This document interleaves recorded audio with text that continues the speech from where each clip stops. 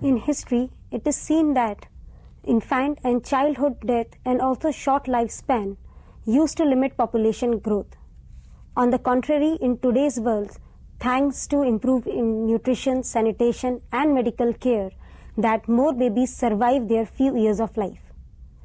The combination of continuing high birth rate and a low death rate is creating a rapid population increase in many countries and people generally lived longer. When we talk of population explosion, population bomb or overpopulation, it is defined as the condition of having more people than can live on earth in comfort, happiness and health and still leave the world a fit place for future generation. It took entire history of human mankind for the population to reach 1 billion by 1810 and in just 120 years later this doubled to 2 billion say by 1930. Concern about overpopulation is relatively recent in origin. Until recently, birth rate and death rate were about the same, keeping the population stable. People had many children, but large number of them died before the age of 5. During the Industrial Revolution, where there were seen great advances in science and technology, reduction in death rate were seen population explosion is the biggest problem for our nation. It's the biggest concern to us, uh, and main reasons for increasing population of nation is uh, reduce maternal morbidity and mortality. That is, less less and less number of uh, mothers are sick or dying because of delivery problems, pregnancy problems. Then even um, perinatal mortality rate is reducing. Uh, perinatal mortality means death of uh, young newborn children, young children. Um, now the rate is reducing on uh, it's on reducing line.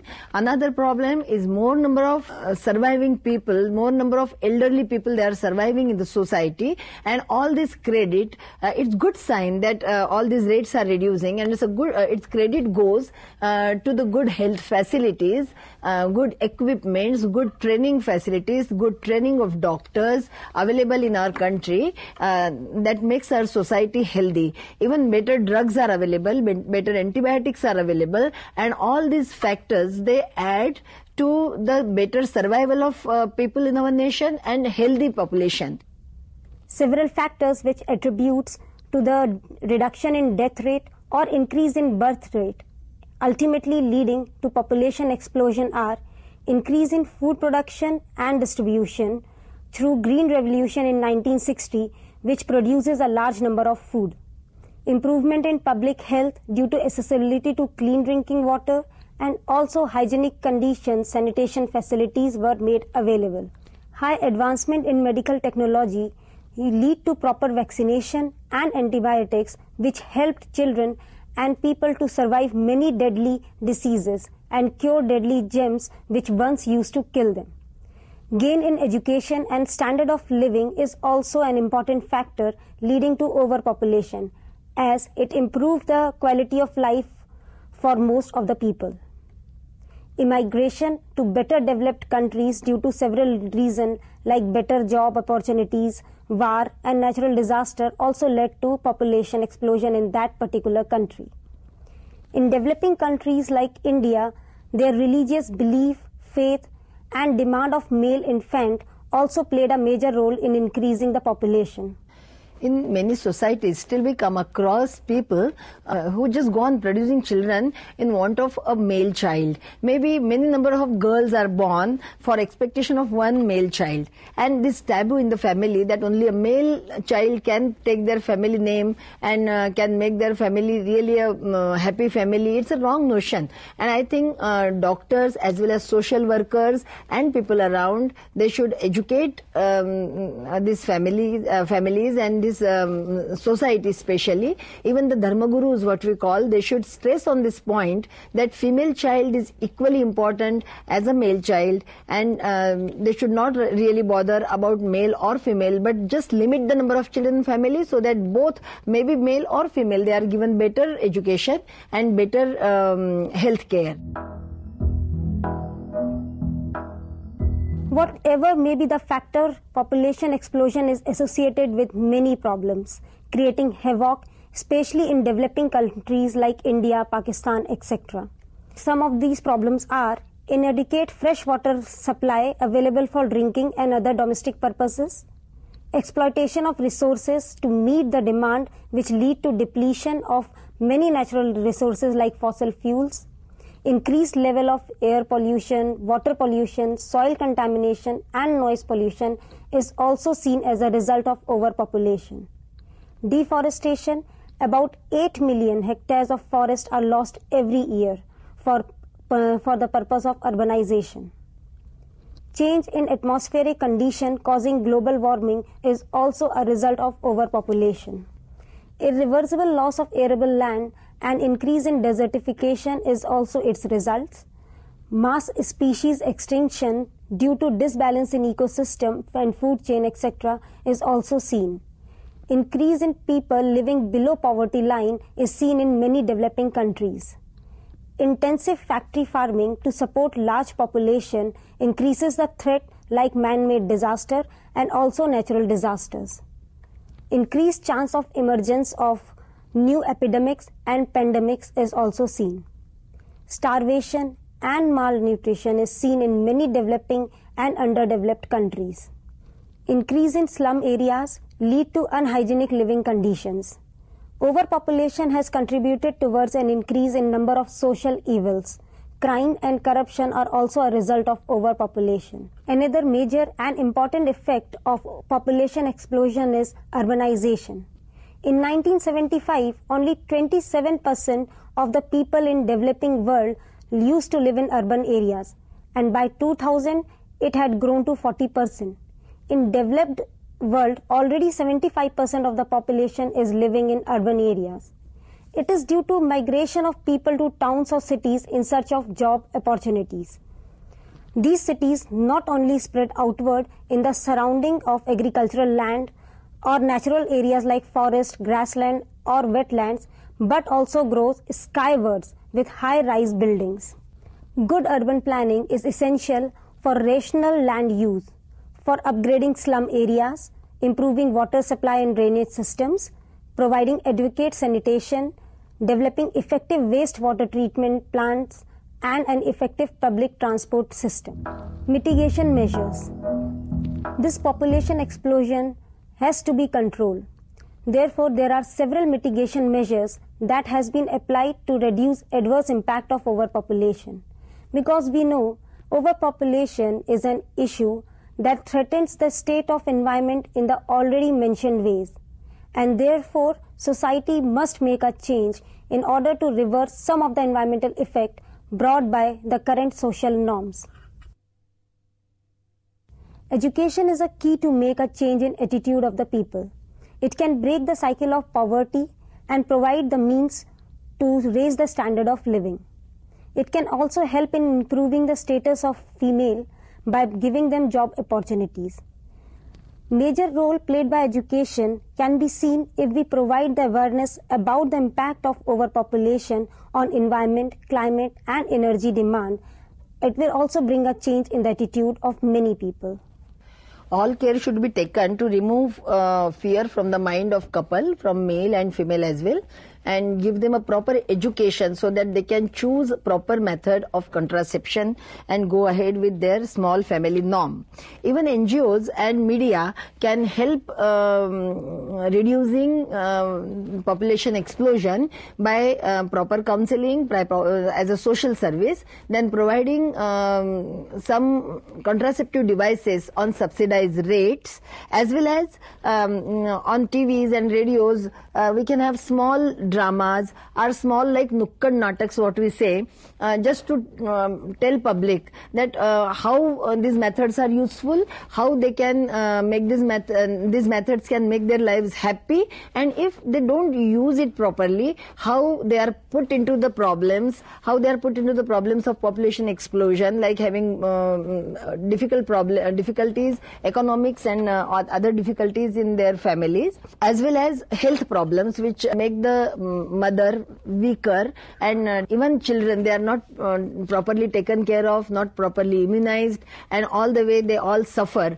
so these uh, different dramas small stories small um, even small writings from uh, people knowledgeable people that can help uh, society in um, uh, helping this family planning program Birth regulation. Overpopulation is related to the issue of birth control. Some nations like People's Republic of China use strict measures to reduce birth rate, but religious opposition to birth control has been cited as a factor contributing to overpopulation and poverty but there is an urgent need to strictly implement a China-like one-child policy globally by United Nations. We see the um, solution of this problem in family planning. Family planning means not only uh, stopping the number of children in family, but producing child at a right time. So there is uh, there should be a right gap between two children and this um, makes um, the small family norm. Um, uh, like we have heard many uh, slogans going on like hum do hamare do and many others. You can read it everywhere. So um, it is just to limit the number of children and have children at right time in the uh, family uh, so that mother can take care of children better way their resources are better utilized for less number of children. So better education is given to the child. Better care is taken of physical mental as well as spiritual they are given good moral education and that makes our nation further healthy. So it's very important. Family planning or family welfare program. Many countries like india seriously took up the effective family planning program which was renamed as Family Welfare Program. Slogans such as Hum Do, Hamare Do indicates the effort taken up by the government. The various family planning methods are tubectomy, IUD, that is intrauterine devices and oral contraceptive pills for women and use of condoms and vasectomy for men. These methods are either used for permanent sterilization of men or women or for temporary sterilization. Permanent methods used for sterilization are done by minor surgeries like tubectomy for female is done by tying the tubes that carry the ovum to the uterus. Vasectomy in males is done by tying the tubes that carry the sperms. Both are very simple procedure and done under local anesthesia, which are painless. Temporary methods include the use of condoms for men during intercourse and for women intrauterine devices like copper T, a small object placed in uterus by the doctors. Now, family planning facilities which are available are n number of facilities are available here, provided by government as well as non-government uh, and private sectors. It's a cafeteria choice really because um, different people they are in need of different kind of family planning method. Family planning can be uh, just a permanent method that is permanent uh, stopping the children uh, producing um, children or it can be a temporary one. So from temporary, we have many other conventional methods uh, like uh, we have condom, female and male condoms, vaginal spermicidal uh, tablets and gels. Um, and there are other methods uh, which uh, just they are uh, these are the conventional but for a long time if they don't want to have children for maybe say 3 years or 5 years then they have many other choices maybe hormonal methods or non hormonal methods. And amongst hormonal methods, it may be oral contraceptives, which can be uh, minimal dose contraceptives and really better ones have come up in the uh, market which give uh, which have very less side effect and they are very convenient to use. There are uh, IUCDs like like intrauterine um, contraceptive devices which are hormonal devices. There are implants which can be just put under uh, under the surface of skin and it can give a better protection. Even nowadays vaginal rings with hormones impregnated in it they are available and they can be used, uh, they can be changed every month. So these are the hormonal methods. There are some non-hormonal methods like copper T, multi-load, and they are very good. Though the taboos are there, they are prevalent in society, but it's the responsibility of our doctors and um, other people in society just to properly educate the female and uh, even uh, her husband regarding that method, tell them each and everything and uh, just um, boost up their moral, uh, moral to use all these methods. Still, many methods are under research. Actually, how to choose a um, contraceptive method? It's uh, it depends on the need of the patient, the need of the couple. Actually, the uh, contraceptive method it should be safe. First thing, it should be effective. Third thing, it should be cheaper and easily available. And fourth parameter is um, whenever you need child, it should be reversible one. Means whenever you need child, just stop using that method and you can have another child uh, when wanted. So these are, uh, and another thing is they should not have any side effect uh, which causes permanent damage to the health of the female or male.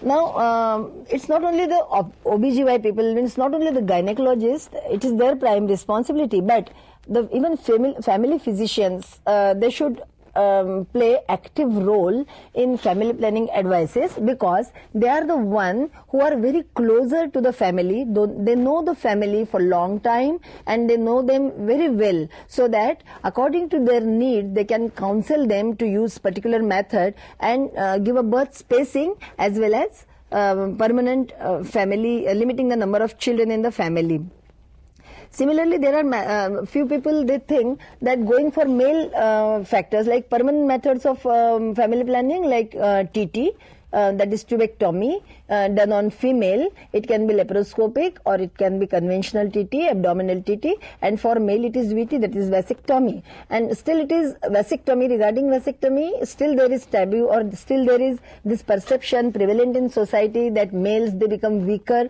after this operation, but it's not true. Considering these factors, it is obvious the success of family planning program depends on too many factors, making it more complex operation than usual. However, this does not change the fact that the birth control is extremely important in order to improve the life of the future generation in terms of better availability of resources and a better and clean world. Unless we want our future generation to live the life of barbarian, it is imperative that we control the population explosion and thus control the usage of available resources.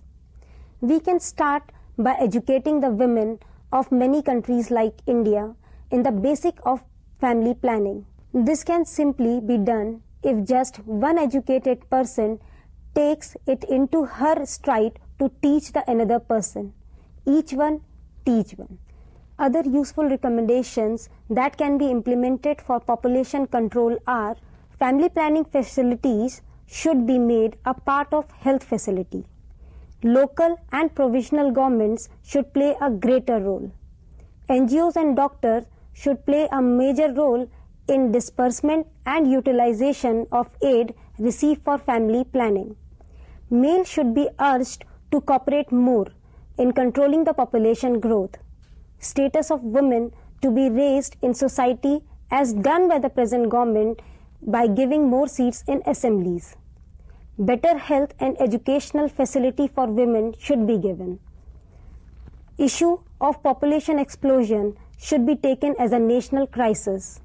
Role of media should be encouraged, especially in rural areas, to control the population explosion.